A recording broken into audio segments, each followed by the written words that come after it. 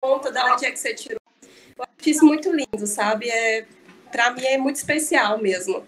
É, agora falando aqui do currículo da Marta, é, título de Ashram, Acharya e Trainer of Yoga Teachers pela Federação de Yoga Internacional, Índia, autorização para dar formação a professores, professora de Hatha Yoga pela Faculdade de Educação Física, FMU, Yoga Terapia Hormonal com Rodrigues, 1, 2 e 3, professora de Yoga pela ABPY, na Associação Brasileira de Professores de Yoga, Rio de Janeiro, formação em terapia, Ayurvédica e Yoga no Sudan Dharma Mandalam, Uberlândia, Minas Gerais, formação em biopsicologia no Instituto Visão Futura, Futuro, terapeuta ayurvédica formada no curso avançado de terapias ayurvédicas e yoga na International Academy of Ayurveda em Pune, na Índia.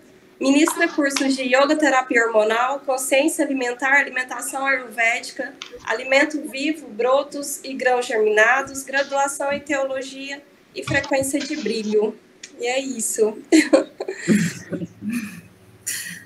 Então, Marta, seja bem-vinda, fique à vontade, a palavra agora é com você. Gratidão vocês pela recepção tão linda, né? Tanta, tanta palavra difícil aí, né?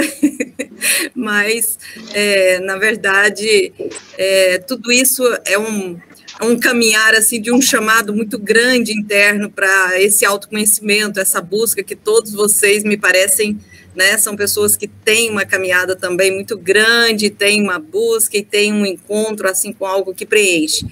E minha vida com yoga é um pouco isso, né? Algo que veio é, em direção a, a, a olhar para mim e falar: nossa, não quero mais essa vida, eu quero mudanças, eu quero um outro um outro estado de compreensão das coisas, né? Então comecei a buscar.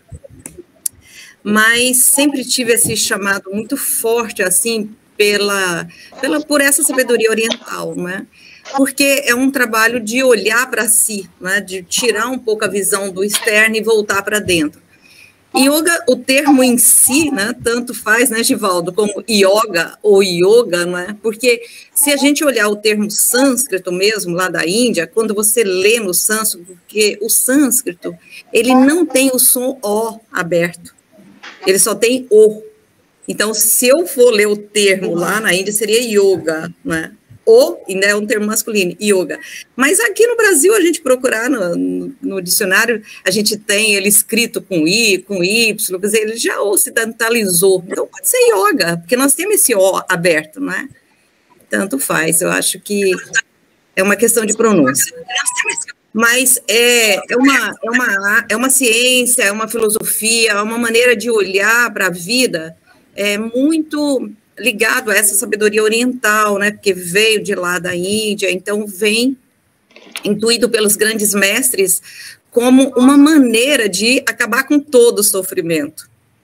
Né? Então, é incrível você pensar que há uma ciência, né, uma maneira que você tem, uma maneira de viver que pode entrar lá nas raízes das nossas ansiedades, das nossas preocupações, dos nossos medos, das nossas inseguranças e acionar, né, tirar isso pela raiz, né? Então a yoga, a proposta, né, quando Patanjali, que foi o codificador, o que codificou o yoga mesmo, que é essa ciência, ele é, ele traz, né, os passos para que a gente chegue nesse estágio de estar feliz, de estar em paz. E uma das coisas que eu percebi, que eu já fui à, Índia nove vezes, já estudei muito, já né, fico lá internada, lá buscando, é, uma das coisas importantes né, para nós é assim que os mestres querem saber: você é feliz, né? Você está feliz? Então, esse estar feliz é uma. É um olhar muito profundo para nós, porque essa alegria, essa estabilidade, ela vem de dentro, não é? Aí é que vem esse termo yoga, ou yoga, que vai nos. Não é nada mais do que eu olhar para mim, me abrir para mim mesmo. Não é? E, e, como seriam esses passos? Então, é super interessante se a gente quiser buscar como que é, um mestre, porque, na verdade, Patanjali, naquela época, ele é um ser que não, não tinha muita individualidade, né? Se a gente buscar é, numa época que, em que eles intuíam essas sabedorias e disponibilizava sem achar que eles eram o codificador daquilo. Então, eles têm consciência que essa é uma sabedoria que vem intuída dos grandes mestres, uma sabedoria que está além do tempo, da individualidade, não é?